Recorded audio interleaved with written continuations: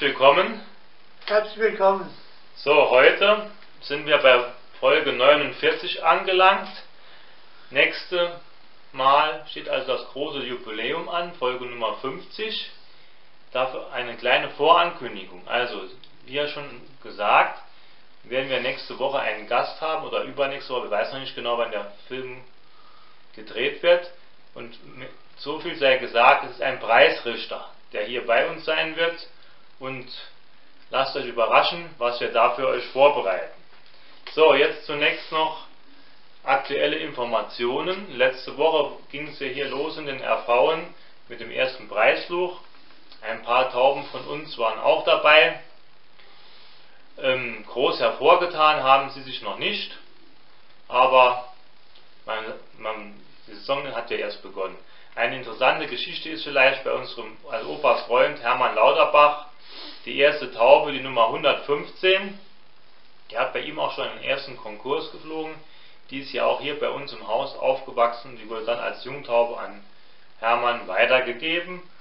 Und die konnte 2017 nicht gesetzt werden, da sie ein Problem mit den Federn hat. Die hat sich immer selbst so die Federn rausgerissen und hat sich also blutig, ne, so blutig war die dann immer. Ne? Und die Tierärzte haben nicht wirklich was gefunden, bis jetzt ein Tierarzt ein Mittel wohl angeschlagen hat. Ne? Und dann konnte er wieder eingesetzt werden und war direkt nach einem Jahr Pause wieder die erste Taube am Schlag. Mal sehen, wie es mit ihr noch weiterging. Der Märchenprinz hat auch einen Preis geflogen, aber wie überall äh, ist auch der Habicht immer eine große Gefahr. Der Märchenprinz war zum Beispiel mal einen Tag auch verschwunden, weil der Habicht hinter ihm her war. Also das ist alles nicht so einfach, gehört auch immer viel Glück dazu. Vor einer Woche stand auch das Finale beim IAPC an. Da hatten wir noch fünf Tauben dabei. Alle fünf sind zurückgekommen. Mit den vorderen Plätzen hatten wir leider nichts zu tun. Aber es war auch ein sehr, sehr schneller Flug. Na, Opa, ich glaube, fast 1600 Meter die Minute war das. Oh, ne? an die 1600 Meter. Und da waren wir nur ungefähr 8, 9 Minuten hinter der Spitze. Aber äh, ja, bei so schnellen Flügen ist bei uns immer schwierig. Wir sind eher so bei 1200 Meter, sieht es bei uns ein bisschen besser aus. Aber trotzdem, es wurden bei diesem Rennen 10 Preisflüge veranstaltet und drei Hotspot-Flüge und die Tauben haben das alle durchgestanden. Das ist ja auch schon ein Qualitätszeichen. Und die ersten beiden waren sogar Nestgeschwister, 499, 498. Das waren Junge von der Cézanne. Und besonders die 499 hat bei dem Flug ja öfter mal sich hervorgetan. Ja. Ja? Und mit den Jungen aus dem Paar sind wir eigentlich auch ganz zufrieden. So, das waren so ein bisschen die aktuellen Infos. Jetzt spielen wir euch noch ein paar Bilder aus dem Jungtierschlag ein. So, wir sind jetzt hier im Jungtierschlag. Hier sitzen noch 13 Jungen. Ein Teil davon geht nach Südafrika, andere, ein paar andere gehen noch weg auf Gutscheine, die wir ausgegeben haben. Und noch bei den Sportfreund Birk gehen noch ein paar Tauben. So, Opa wird euch jetzt mal ein, zwei Tauben rauspicken, die ihm jetzt auf den ersten Blick besonders gut gefallen. Und wird ihm mal kurz ein bisschen in der Kamera zeigen. Und dann schön Pfahle.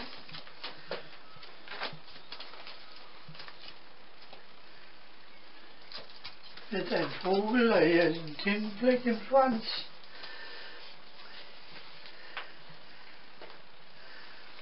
Schön lang gestreckt. Also, bei Jungen muss man natürlich vorsichtig sein. Die verändern sich ja noch, entwickeln sich ja erst, aber soweit ich bis jetzt so beurteilen kann, gefällt er mir sehr gut.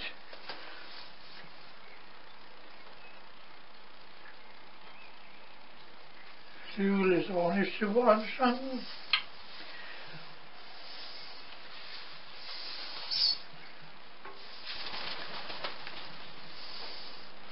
Schöner Kerl.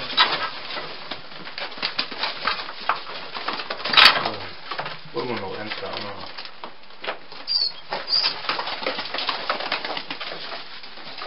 Die ist Die, dunkel gehämmerte, ja. ja. die ist schon sehr schön in der Hand, also hat schon was Fleischblick anbelangt.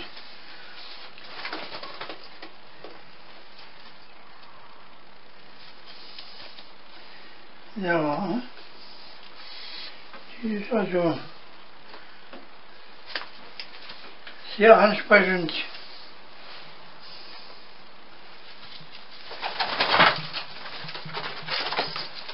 Wir eigentlich auch ein schöner blauer.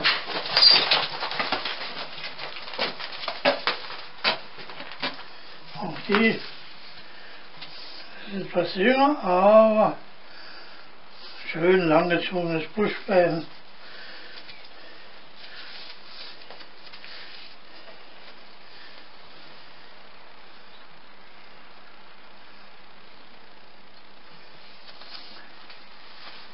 Gibt ein schöner blauer Vogel.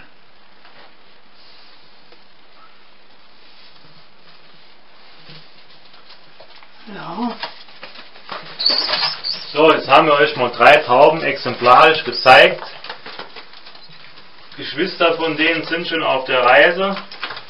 Andere Geschwister sitzen noch hier. Und ja, das waren mal ein paar Bilder aktuell von den jungen Tauben. Da sitzen noch ein paar Tauben. Die Flüge sind jetzt eigentlich alle besetzt mittlerweile. Wir haben fast alles weggeschickt, was wir wegschicken wollten. Südafrika kommt jetzt noch Ende des Monats und vielleicht noch ein, zwei andere Rennen. Und dann dauert es noch etwas, bis wieder Tauben zu diesen Winterrennen weg- weggehen. Also der Beriaschossjährige, IAPC, oder dauert es noch ein bisschen. Ne?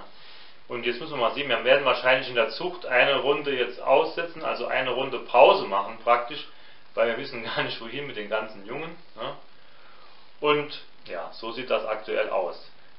Aber ich möchte euch heute noch in diesem Film zwei Neuzugänge vorstellen. Ich konnte äh, mal wieder vor einigen Wochen bei einer Versteigerung nicht widerstehen. Und weil es mich auch immer geärgert hat, dass wir bei diesen Corabia-Rennen so schlecht abgeschnitten haben, habe ich zwei Tauben von, von diesem Corabia Derby gekauft. Die erste Taube, da ist mir schon ein Name eingefallen, das ist der Senior Asturias, weil er aus Asturien kommt. Asturien kommt, eine spanische Taube, ein gehämmerter Vogel. Äh, Ich spie- spiele euch das Bild noch gleich ein und mache noch ein paar Live-Bilder aus dem Schlag.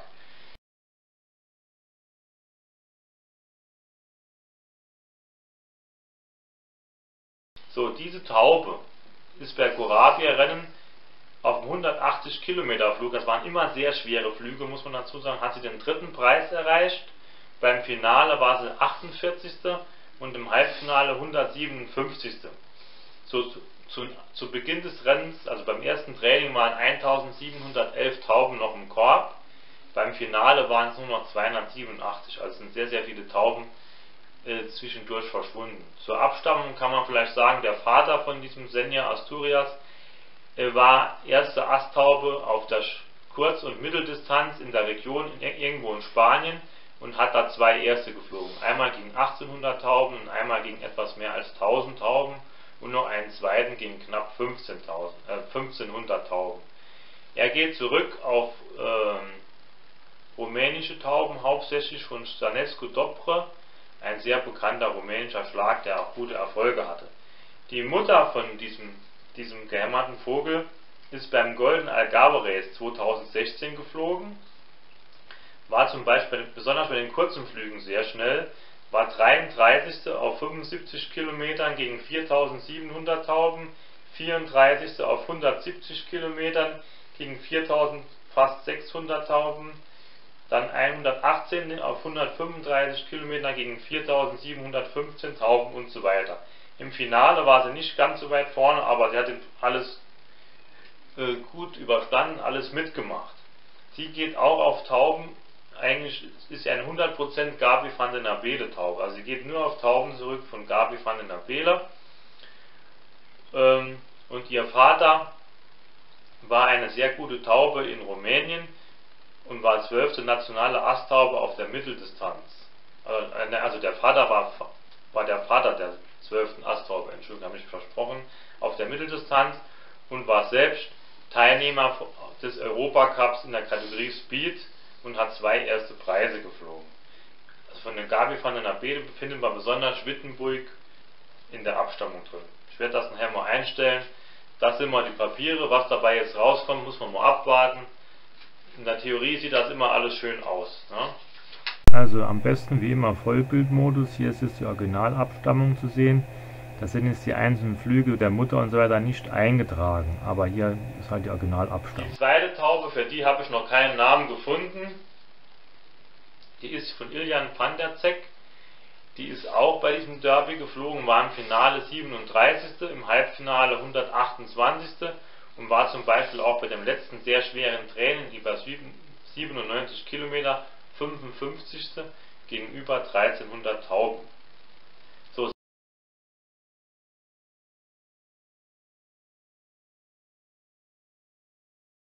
Sie ist eigentlich gezogen wie eine reine Weitstreckentaube. Sie geht auf Tauben zurück, die auf äh, Warschau, Moskau, Kiew und so weiter geflogen sind. Also das sind Tauben, die sind, wurden in Bulgarien gereist und da geht, gehen die Weitstreckenflüge in diese Richtung. Also Moskau, Warschau, das sind über 1000 Kilometer teilweise. Und Iljan van der Zeck hat mehrere Olympiatauben schon in dieser Kategorie Weitstrecke gehabt. Kann man alles in der Abstammung erkennen. Und auch der äh, Turbobrief war erste nationale Asttaube Marathon das sind alles Tauben, die jetzt hier in diesem Weibchen drinstecken. Und es halt wirklich interessant ist, dass es sehr, sehr schwere Flüge immer sind. Also über 1000 Kilometer und mehrfach im Jahr bewältigen diese Taube diese Strecken. Und dieser Iljan Zeck ist auch in dem Pieper-Buch, in dem Collector Items Buch drin. Die Seite äh, blende ich auch mal hier im Video noch ein.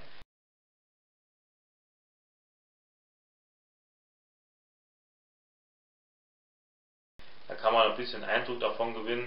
Ich habe mir die jetzt gekauft, weil ich gedacht habe, das ist eine sehr harte Taube, die auf weiten Strecken sehr gut zurechtkommt und bei harten, harten Bedingungen eigentlich immer den Heimweg finden sollte. Ob das alles so klappt, wird die Zukunft zeigen. Und nach der Mausern, so werden wir euch die Tauben mal richtig äh, präsentieren in der Hand. Mal sehen, wie sich das bis dahin noch entwickelt haben. Wer sich da ein bisschen näher für die Abstammung eines interessiert, kann ja auch jetzt im Video das alles mal genau äh, ablesen. Da sind auch gute äh, Tauben aus Holland noch mit drin, von Jan Thelen, aber auch von Gerard van Tull, also von diesen Olympiatauben und äh, erst in international Barcelona, Rotico und so weiter. Finden wir auch alles hier in der Abstammung. Ja, wie immer Vollbildmodus, da kann man eigentlich alles sehr gut erkennen in dieser sehr aussagekräftigen Abstammung. So, jetzt gleich spiele ich noch ein paar Live-Tauben von den Bildern ein. So, natürlich ein lustiger Versprecher.